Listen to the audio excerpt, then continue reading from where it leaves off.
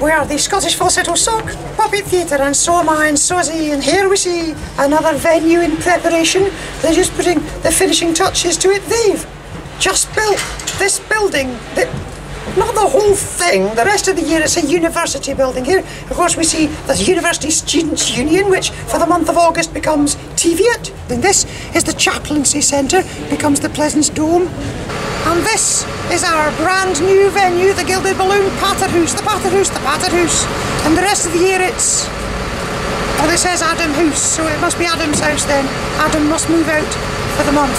Thank you, Adam. Yeah, thanks, Ad. In each of these major venues, there's smaller performance spaces in which a different show takes place every hour or so from 10 in the morning until well after midnight. So, across these venues, which include the Pleasance and the Underbelly and Greenside and Southside and Summerhall and Zoom and Assembly and dozens more, they take so many shows. There must be thousands of shows, thousands of shows, doing millions of performances. Yet, citation needed. Google it.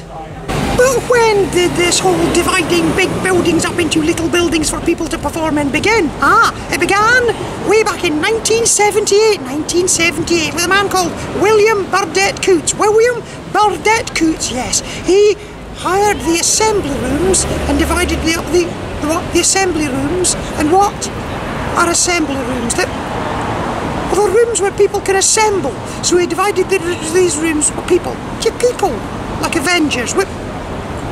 Yes, I, I, should imagine if the Avengers played at Edinburgh, they'd play at the Assembly Room. So he divided these. Then next year, there'd be the Age of Ultron rooms, and then the Infinity War rooms, and then the Endgame rooms. You're not really following the plot, are you? I am following the plot, are you? Yes. And I can tell you how it crosses over with Agents of S.H.I.E.L.D. This has got nothing to do with Agents of S.H.I.E.L.D., has it not? No, it's not. Who started this whole multi-tenanted assembly room venue then? William Burdett Coutts. And what's a coot? It's a small water bird. And what do small water birds eat? They eat plants and vegetables and insects. Might they eat small freshwater organisms of the phylum Cnidaria? They might. And do you know what a small freshwater organism of the phylum Cnidaria is called? Tell me. Hydra. A multi-tenanted Edinburgh Fringe venue was started as a concept with the assembly rooms in 1978 and now there are loads of them. Hail Hydra!